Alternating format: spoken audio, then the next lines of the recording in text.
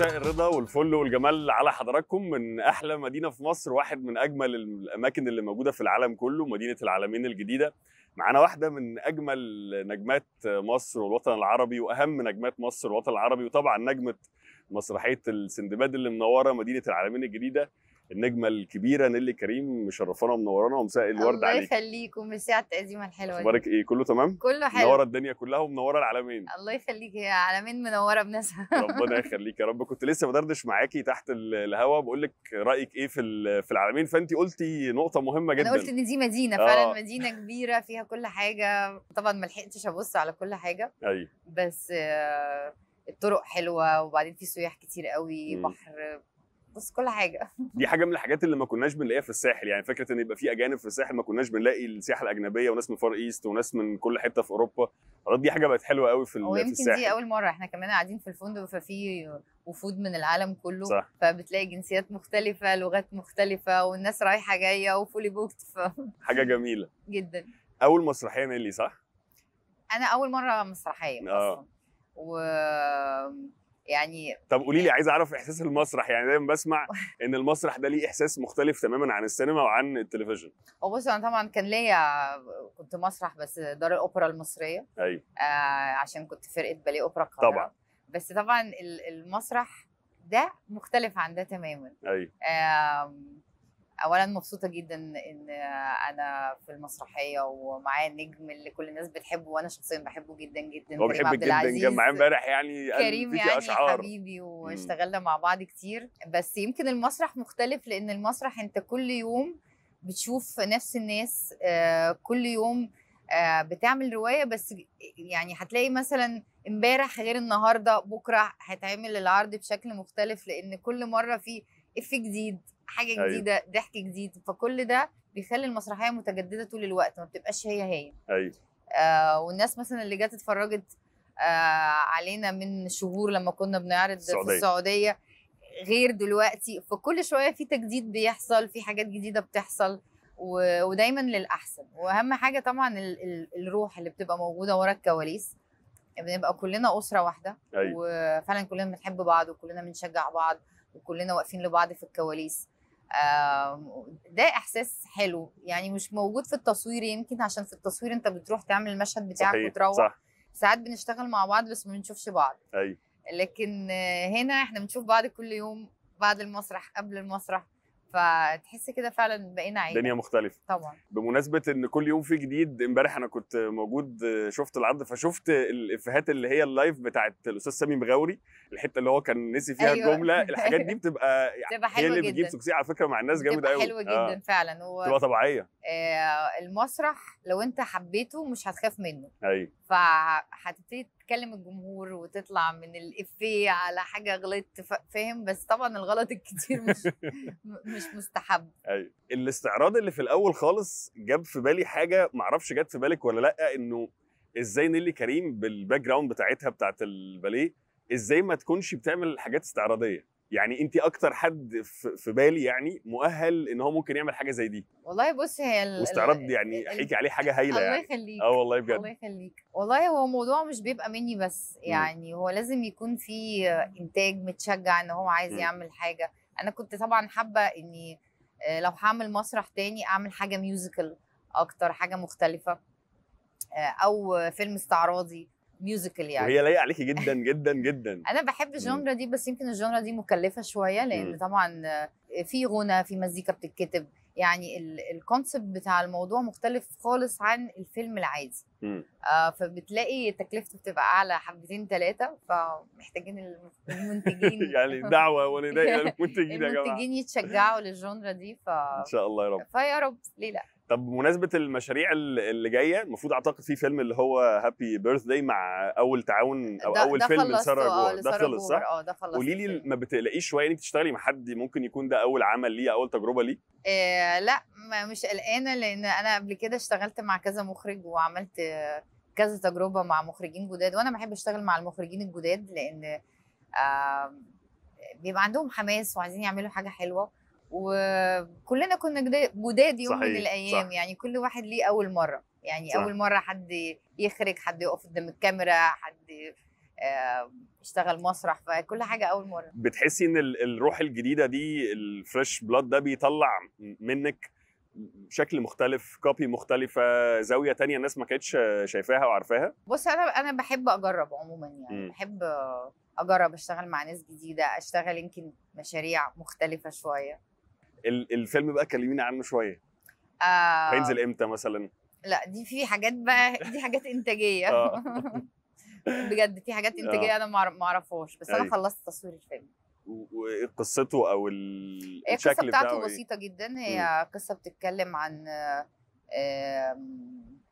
أم مطلقة عندها بنت وفي نفس الوقت عندها آه، الشغالة بتاعت مامتها.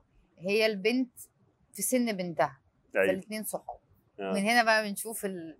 مش هحكي حلو إيه قوي الفيلم. آه ده بس هي فكرة جديدة ومختلفة وفيلم آه، فيلم خاص جدا بمناسبة الأفكار ال- الجديدة بحس أو اني شفت مسلسل فراوله طبعا بحكي عليه وألف مليون مبروك متأخرة شوية بس هو نجاح هايل في. رمضان هل في intention عند نيلي كريم إن هي الفترة اللي جاية تطلع شوية من بعض ال- القوالب اللي ممكن تكون تراجيدي لأفكار تانية أو قوالب مختلفة؟ والله بس أقول لك أنا عملت كل حاجة عملت تراجيدي وعملت كوميدي وعملت suspense آه وانت ما شاء الله جميلة حاجات كتير عملت- ومقبوله ومحبوبة في كل حاجة. حاجات كتير عملتها وعملت. صعيدي.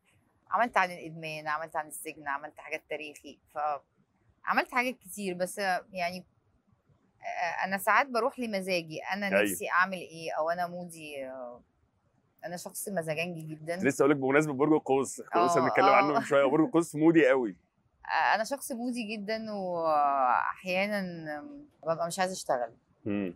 آه، محتاجة راحة فاهم. أيوة. فما أقدرش أقول لك مثلا كمان شهرين هيحصل إيه مش عارفة يعني بت... على حسب ال- الحالة اللي انت فيها دي اللي بتحركك طب بعد التجارب الكتيرة دي سواء ال- ال- اشكال التراجيدي أو كوميدي أو أو أو إيه آه، الحاجة اللي انت نفسك تقدميها؟ يعني إيه الفكرة اللي انت لما بتتفرجي عليها حتى بره في أفلام ممكن تكون أجنبي بتقولي أنا نفسي أعمل حاجة شبه كده؟ غير ال genre اللي إحنا اتكلمنا عليها اللي هي بتاعت الحاجات ال musical يعني. ب...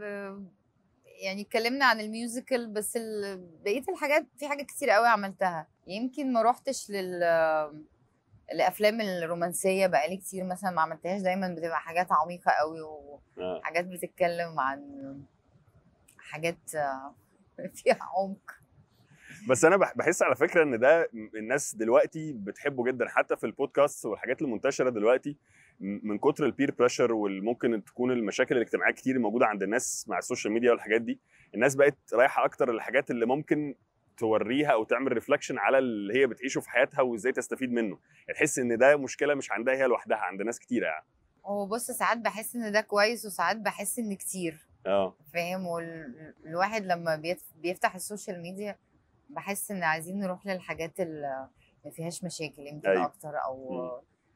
آه حاجات فيها حتى على على المستوى البصري يعني ما يبقاش فيها عنف ما يبقاش فيها ال- المشاكل اللي موجودة يعني. في الحياة آه. العادية كفاية عايزين نقلل الدنيا شوية. شوية طب بمناسبة ال social media أنت إيه علاقتك بال social media عادية يعني آه، يعني بفتح على قد شغلي مثلا لو محتاجة أحط حاجة بس مش مجنونة social media. يعني لو لو بفتح آه، ببقى عايزة أعرف معلومة معينة أو أقرأ حاجة معينة لكن مش مش مجنونة social media مش خالص. مش into social media لا. مش social يعني ميديا كبيري يعني. انستجرام أحط صورة حاجات. أنا بحب أصور. أيوه. فساعات آه، ممكن أحط صور أنا مصوراها. يعني حاجات كده. بس كده. آه. لكن مش بتخشي في debates مثلا مع الناس لا، ما لا. ما فيش الكلام ده. طب بمناسبه المسرحية السندباد لو انت ركبتي البساط بتاع السندباد ورحتي عصر تحبي تروحي عصر إيه؟ يعني إيه العصر اللي نفسك كنت تعيشي فيه؟ مش عارفة بس يمكن أروح المستقبل طيب. أروح لقدام مش لورا. عايزة أروح لقدام. مع- كنت متخيلة تقولي مثلا الثلاثينات أربعينات. انت أصل princess يعني. خلاص عرفنا آه. في إيه حصل. عايزين. نروح لقدام نشوف. إيه اللي هيحصل قدام. انت بتحبي ال technology تحبي تعرفي إيه خالص. لا أنا ما بحبش ال technology آه. خالص. أنا أنا شخص بتاع جوابات. بحب بجد والله. الجوابات بحب آه. ال- الحاجات يمكن القديمة شوية. أيوه. آه بس لو أحب أعرف أحب أعرف لقدام. اللي قدام إيه اللي هيبقى اللي حاصل ممكن يعني؟ يحصل تطور أكتر من كده. طب آخدك لحتة تانية ما أعرفش الانترست بتاعتك فيها ولا لأ كورة. أنت إيه علاقتك آه. بالكورة؟ بحب محمد صلاح. بس كده. آه. آه. لكن مالكيش ميولة أهلاوية زملكاوية ما مش هقول لك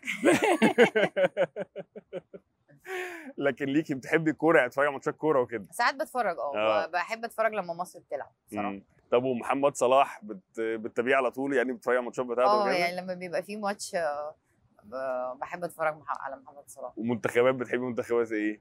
لا مش هقول لك برضو؟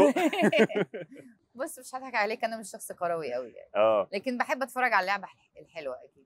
وبتشوفي الخناقات اللي على ال social media بتوع بتاعت الأهلي والزمالك والجمهور آه وكده ما بحبهاش بجد آه، والله بحس إن حرب أهلية يعني ليه لما إحنا نعمل إيه ليه ده إحنا مش عايز إيه أقول لك طيب؟ انت لو قلتي حاجة بتلاقي الدنيا باظت أنتوا. عندكم برضو الدنيا نوعا ما يعني سيكا أهدى شوية إحنا في الكورة آه شوية. بتبقى ربنا الدنيا يهدي الجميع ال- الشغل مع أحمد الجندي رأيك فيه إيه؟ آه، شغل جميل أنا قبل كده اشتغلت مع أستاذ أحمد عملت ضيف الشرف آه، في موضوع عائلي. آه، كان ماجد الكدواني آه، آه، يعني نجم أنا بحبه جدا وبحب أشتغل معاه يمكن ما اشتغلناش كتير.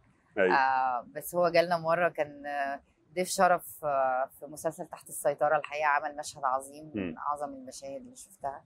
مم. وكنت مبسوطة قوي وأنا معاهم ضيفة شرف في المسلسل. التعاون اللي ما بين المتحدة وموسم الرياض والهيئه العامه للترفيه في المملكة العربية السعودية بتشوفي التعاون ده مفيد؟ أنا شايفة التعاون ده مفيد جدا جدا جدا مم. وبجد عايزة أشكر السعودية وعايزة أشكر الشركة المتحدة إن إحنا آه، تعاوننا مع بعض. وعملنا عرض جميل زي السندباد آه، السندباد عرض عارف ممكن يتعرض كمان سنة واثنين وثلاثه ليه؟ لأن هو آه، الضحك فيه عام و وكمان الجمهور ممكن من الأطفال للكبار فعرض متنوع وفي موسيقى وفي رقص استعراضات وفي ضحك وفي دراما صح. فهو عرض متكامل والعروض دي يمكن ما بتحصلش كتير صح، قوي. صح. آه إنك أنت تشجع ال- الفن العربي عموما دي حاجة جميلة قوي. وإحنا بنكسب الجمهور بنكسب جمهور الوطن العربي كله آه وإن شاء الله يبقى في حاجات أكتر وفي حاجات مختلفة. وأنا شايفة دلوقتي التعامل كمان على مستوى السينما آه ومستوى التلفزيون والسينما والمسرح. وأنا يمكن كنت من زمان بقول إحنا في الوطن العربي عندنا مواهب كتير حلوة من المخرجين من الكتاب من الممثلين. آه كان يمكن ناقصنا إن إحنا يعني الإنتاج يبقى مشترك مع بعض ودي حاجة جميلة جدا. صحيح. استقبال الجمهور المصري يعني ما شاء الله المسرحية ثلاث أيام sold out الحمد لله. آه الحمد لله. اللهم لك الحمد. الجمهور من كل الفئات واغلبهم أسر. ودي حاجة زي ما انت كنت لسه بتقولي حاجة جميلة جدا إن جداً، الأسرة آه. تبقى بتتجمع عشان تروح مسرحية. والمسرحية زي ما انت بتقولي الضحك فيها جميل وحلو ومحبب للاسره المصرية. استقبال الجمهور ده بالنسبة لك عامل إزاي؟ بص أسعد لقطة كانت النهارده وإحنا بنحيي لما فتحوا النور في الصالة فلقيت الناس كتيرة قوي قوي قوي قوي آه. وأعمار مختلفة وفي أطفال وكبار. آه يمكن عشان إحنا وإحنا بنعرض الصاله بتبقى ضلمة فمش بنشوف الجمهور قوي يمكن أيوة. بنشوف الصفوف الأولانية ما بنشوفش بقى للآخر خالص. أيوه. فأحلى حاجة إن الصاله كلها كانت مليانة ما فيش ولا كرسي فاضي تقريبا. فبجد كان إحساس كده أنت حاجة جميلة. سعيد ومبسوط. وأنا سعيدة جدا إن إحنا عملنا تقريبا 20 عرض في السعودية ولما جينا مصر كمان sold out في الثلاث أيام. دول فحاسه ان ال- المسرحية فعلا نجحت في الوطن العربي كله وده آه شيء يسعدني بتحسي في chemistry ما بينك وبين كريم عبد العزيز؟ جدا جدا جدا بجد. آه. إحنا لما بنيجي نصور مثلا في التصوير بتبقى. كواليسنا كوميديا جدا. مم. يعني غير التصوير بتبقى الكواليس كوميدية. كريم آه، آه، مركز جدا في شغله بس في نفس الوقت عنده sense كوميدي كده black comedy خفيف. آه، بحبه بحترمه. وإن شاء الله إحنا مع بعض في حاجات تانية مختلفة اشتغلنا مع بعض. طبعا في الأزرق الأولاني والتاني ولسه بيقولوا في التالت والمسرحية طبعا وضع مختلف لأن صحيح. انت كل يوم على المسرح بتمثل بشكل جديد بت...